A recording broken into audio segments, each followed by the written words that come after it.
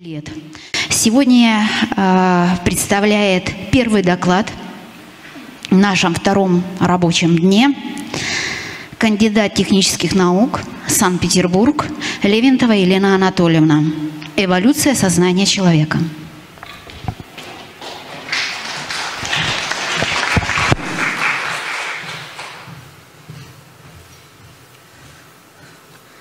Хочу сказать, что э, рассчитано было сначала на полчаса доклад и сокращала свой материал, а потом сказали 20 минут и сокращала сокращенный. Так что, извините, буду быстро читать, но материал глубинный настолько, что 20 минут тут и всей жизни не хватит это все и осветить, и понять, и поэтому, простите, буду очень быстро читать.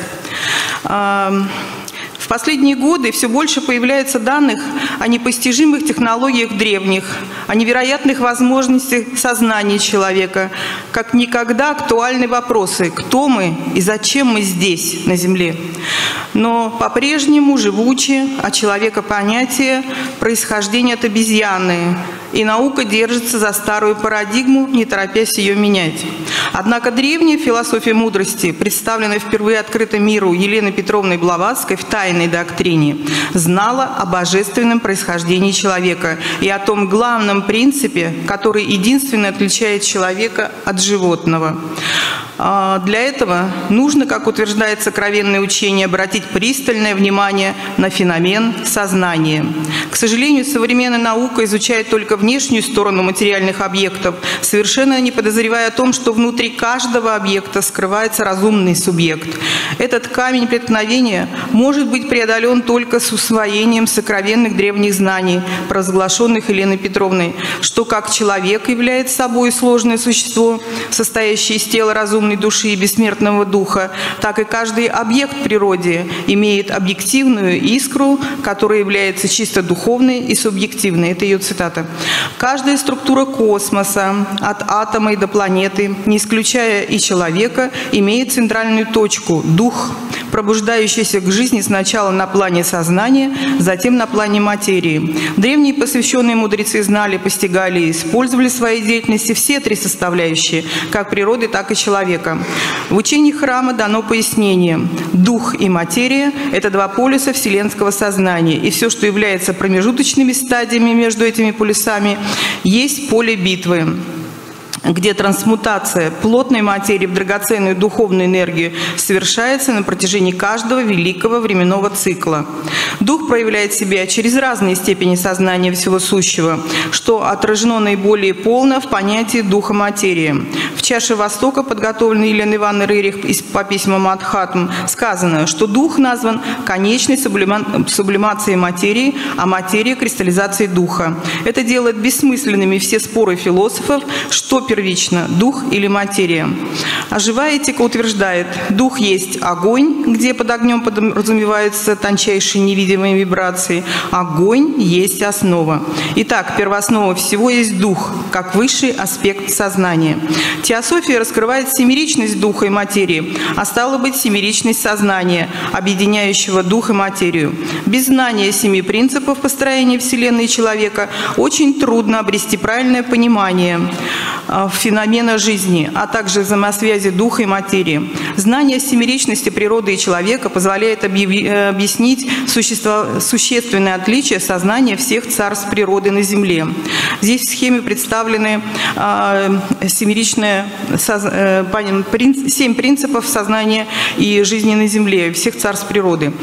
А учение живой этики утверждает, Э, цитата, «Закон великий единства жизни соединяет все сущее, что проявлено сознанием разных ступеней духа материи». В учении храма читаем о сознании различных царств природы.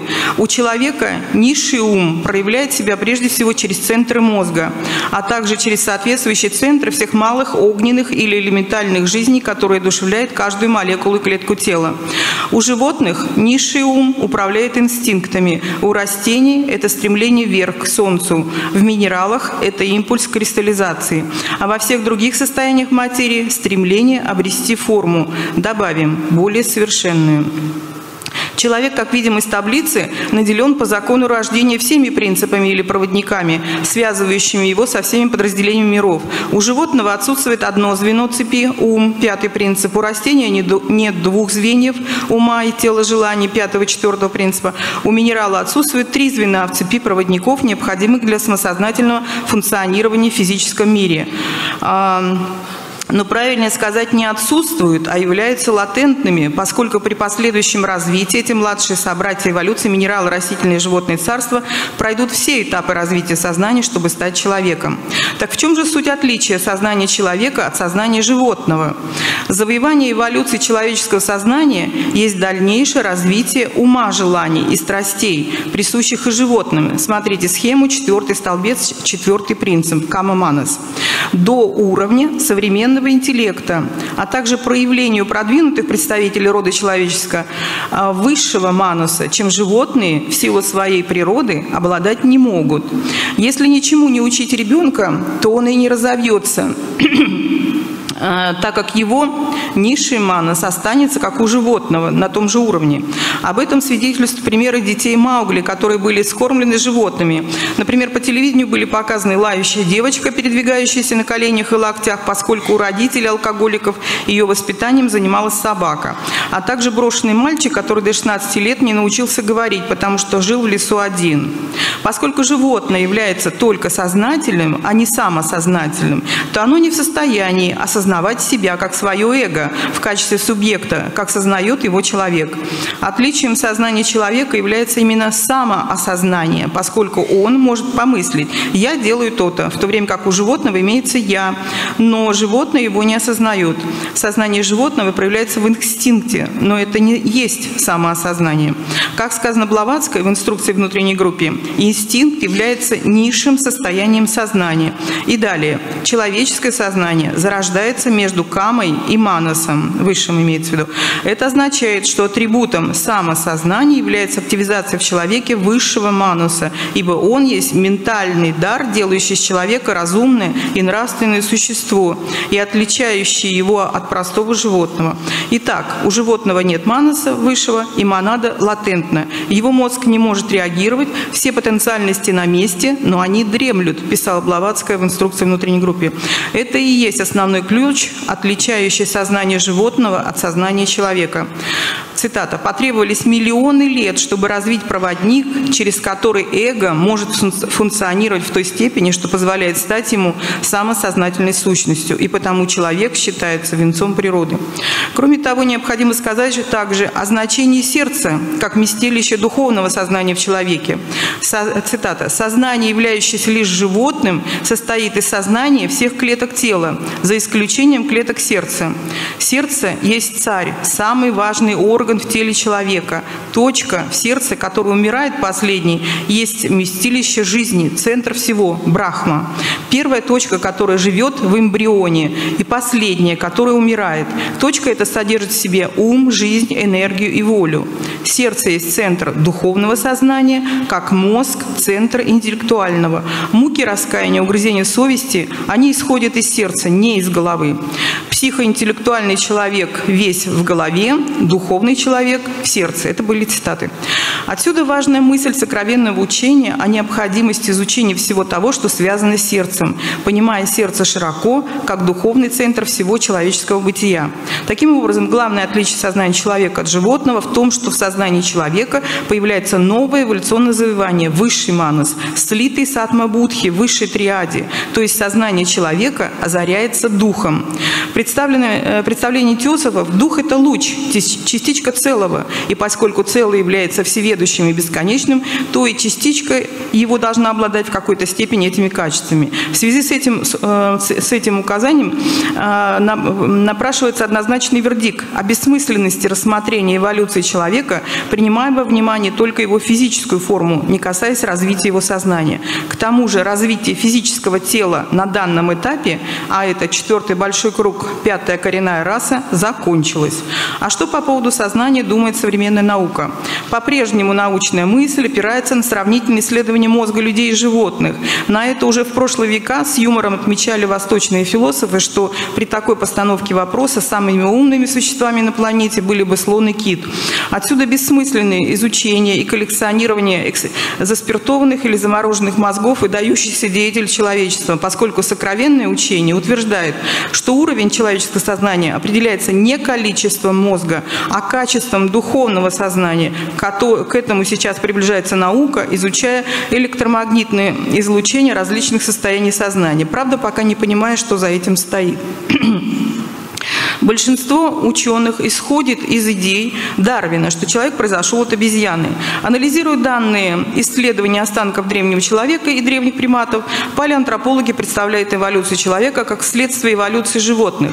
Но в теогенезисе продолжении тайной доктрины ясно сказано, владыки мудрости оспаривают мнение тех приверженцев современной науки, которые пытаются доказать, что человек ведет свое происхождение непосредственно от царства животных и приводит множество свидетельств в пользу своего утверждения о божественном происхождении человека.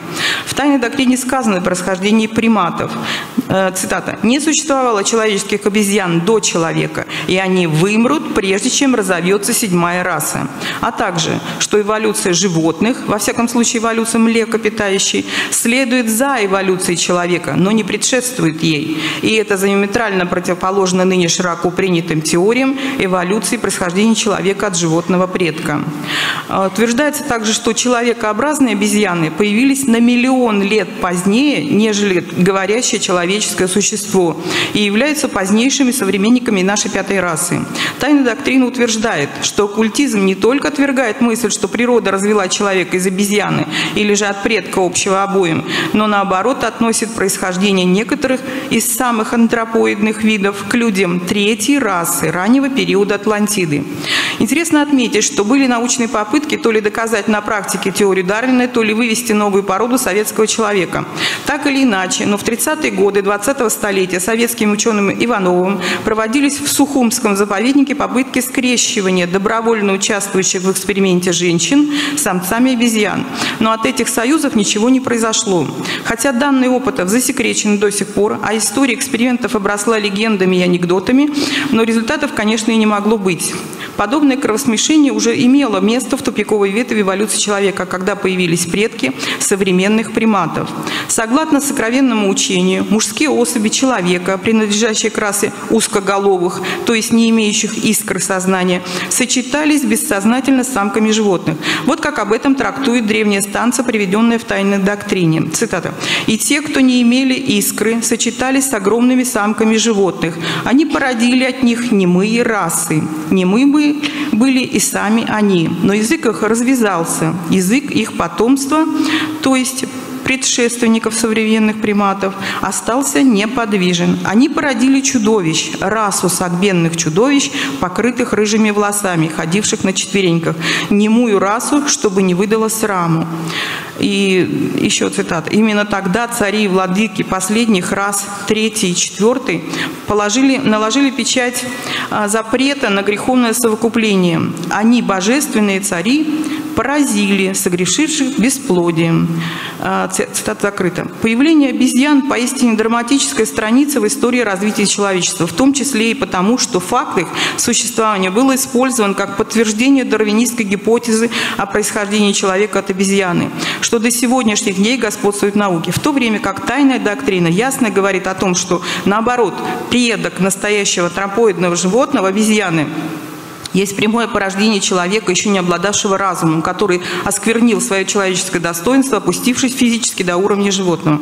В тайной доктрине утверждается также, что раса полуживотных, полулюдей, порожденная в результате греха разума лишенных, была полностью уничтожена. Таким образом, не человек произошел от обезьяны, а наоборот, обезьяна от человека. И, следовательно, учение о недостающем звене полностью несостоятельно. Тогда нет смысла искать переходные формы от обезьяны к человеку, поскольку они, как говорится, говорил Блаватская в «Тайной доктрине», никогда и не будут найдены, просто потому, что они э, разыскиваются на объективном плане, а не в материальной мире форм, тогда как оно надежно сокрыто от микроскопа и ланцета внутри животного святилища самого человека, то есть тела. Все вещи имели свое начало в духе, эволюция первоначально началась сверху и следовала по нисходящей дуге, а не наоборот, как это преподается теорией Дарвина. Другими словами, происходила постепенная материализация форм до тех пор, пока, наконец, конечное унижение, имеется в виду окончательное погружение духа в материю, чему соответствует самая низшая точка на витке эволюции, было достигнуто. Это и есть точка, о которой доктрина современной эволюции, то есть дарвинистская, вступает в область спекулятивных гипотез.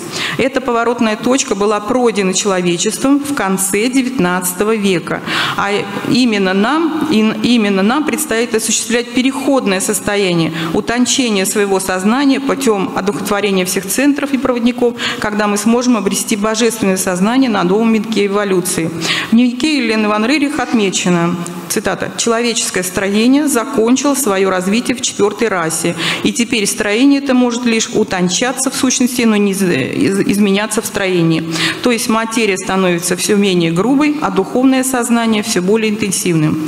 Следовательно, как писала Елена Петровна, дух следует по линии параллельной линии материи, и духовная эволюция совершается рука об руку с физической эволюцией. Интересно отметить, что антропогенезис, второй том тайной доктрины и антропология Дарвина появились с разницей в 30 лет. Однако именно дарвинизм одержал победу в сознании ученых. И причина этого в том, что мысль ученых не смогла подняться выше понимания физической природы человека. К сожалению, за почти полтора века мало что изменилось, и дарвинистская мысль по-прежнему господствует в мире. Кстати, в 2007 году был прецедент по борьбе с дарвинизмом. Школьница Санкт-Петербурга обратилась в суд с иском к системе школьного образования, насаждающей идеи происхождения человека от обезьяны в противовес божественному его происхождению. Как говорится устами младенца, глаголит истина. Но когда же ученые-мужи вступятся за эту великую истину? Хочется добавить также в результате научных изысканий последних десятилетий в генной инженерии, где появилась теория внутренней эволюции человека, которая дала возможность проследить мутации играх хромосом мужского населения Земли. Что особенно отрадно для меня, так это то, что по результатам этой теории однозначно не найдено подобной играх хромосомы у обезьян обезьян, что наносит реальный удар по дарвинизму. Правда, почему-то это произошло совсем незамеченным, наука не спешит расстаться сложными идеями. Подводя черту под описанием принципов или центров сознания человека, можно сказать о человеке словами Елены Петровны. Он высочайший продукт эволюции и потому содержит в себе центры, соответствующие абсолютно всем центрам силы во Вселенной. И, следовательно, в нем заключено столько силовых центров, сколько их содержится во всем огромном мире, как вне, так и внутри него. Это относится ко всем людям Земли, от самых примитивных до самых развитых, а также и на других планетах, схожих с нами по своей природе. Поэтому, познавая себя, человек познает Вселенную как проявление Бога. Следует также отметить, что только обладая знанием семеричности природы человека, можно объяснить такие феномены сознания, как гениальность и сумасшествие, медиумизм, гипноз, передачу мысли на расстояние, сообщение с тонкими планами и многое другое. Дальнейшая эволюция человека заключается именно в совершенствовании высших центров сознания, то есть в его одухотворении. Еще в конце XIX века Елена Петровна Блаватская с горечью писала, и через сто лет с лишним мы за ней можем это повторить. Мы повсюду искали хоть какое-нибудь научное подтверждение существования духа, поскольку именно дух и только он в своем семеричном аспекте является причиной сознания и мышления, как учит эзотерическая философия. Но в результате обнаружили, что и физическая, и психическая науки категорически отрицают данный факт. Зададимся вопросом, каким образом человеку был передан божественный дар высшего сознания. Имеется свидетельство Евсевия о встрече Сократа с индийским мудрецом, где они обменялись мнениями по вопросу, какова цель философии. Сократ определил исследование феномена человека, а индиец при этом расхохотался. Как может человек исследовать феномен человека, когда не имеет понятия о феноменах божественных? В этих ответах коренится разный подход философии Запада и Востока к изучению природы сознания человека. Можно утверждать, что все, что касается высших планов сознания человека, непосредственно связано с проявлением божественных феноменов. То есть божественного сознания, что выражается высшим манасом. Каким образом неразумному человеку был дан свет разума высшего манас? Может помочь метафора о зажигании многих свечей от одной, приведенная Джаджем, э, учеником Блаватской. Неразумные люди, имеющие только четыре низших принципа, подобны незажженным свечам, которые не могут самовозгореться. Сыны мудрости, старшие братья каждой человеческой расы на любой планете обладают светом разума, полученный ими от других в далеком прошлом, которые те, в свою очередь, получили от других в еще более отдаленном прошлом. И этот процесс нескончаем. Таким образом, отметь, осветив разумом четверицу низших принципов человека и его монаду, они подготовили еще одну великую расу людей к окончательному посвящению. Таким образом, мост между богами и людьми есть манас, высший манас. Архаические манускрипты содержат все подробности, раскрывающие, что сотворение Вселенной и человека в начале времен не было однократным актом. Вместо этого было три отдельных и отличных друг от друга акта творения, соответствующие, как свидетельствует всем мировые религии, духу, разуму и форме. Хотя современная человеческая раса овладеет, владеет разумом и формой, при этом она наделена лишь зерном духа. Различие между аватарами или учителями человечества и остальной его частью состоит в том, что аватар – это плод духа, тогда как человек в данное время лишь плод разума и формы. Но человечество крайне неоднократно, неоднокра... Э, неоднородно по степени развития сознания. На Земле живут люди, которых смело можно назвать человеческими животными, э, как образно это называл Будда. В то же время высокие духи, адепты, также могут воплощаться на этой столь несовершенной планете, как прекрасно демонстрирует сериал, показываемый сейчас Сита и Рама. Их миссия и состоит в поднятие общего уровня сознания всего человечества. Между этими полюсами человеческого сознания существует широкий класс массового сознания человечества Земли. Еще раз подчеркнем, самосознание есть свойство разума, но не души, э, анима, откуда произошло само наименование животного. Человечество не обладало самосознанием вплоть до прихода Манасапутра в третьей расе, писала Блаватская. В учении храма сказано, Манасапутра – это ангелы, сошедшие с небес, то есть дух духи, спустившиеся с высоты совершенного состояния, чтобы воплотиться в неразумном человечестве третьей коренной расы, и таким образом поднять ее из животного состояния в человеческое. Нисхождение этих сыновей, ангелов, в воплощение ну, друзья, еще, так сказать, очень много что хочет сказать. А, хорошо. Значит, вот нисхождение этих сыновей ангелов, а, о котором учат, а, это не то падение ангелов, о котором учат ортодоксальная религия. Это план беспредельного, ибо их жертвы э, в никакое сравнение не было возможно. Благодаря этой жертве сознание человека будет расти, переходя с Земли на другие планеты и звезды.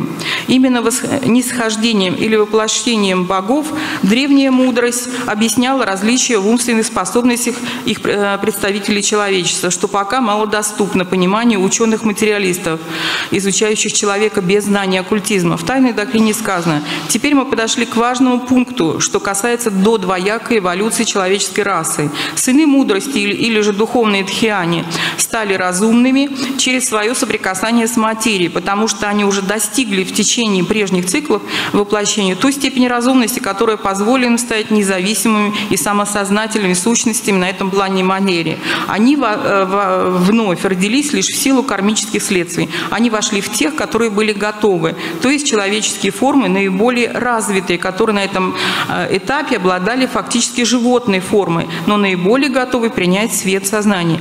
И сделались вышеупомянутыми архатами или мудрецами. Они были существа, стремившиеся стать еще более сознательными путем сочетания с более развитой материей. Естество их было слишком чисто, чтобы быть отличным от вселенского естества, но их эго или манас, ибо их называют манасапутра. Ну, ладно, друзья. Кому это интересно, можете со мной потом пообщаться еще в перерыве. Спасибо. Спасибо большое, Елена Анатольевна.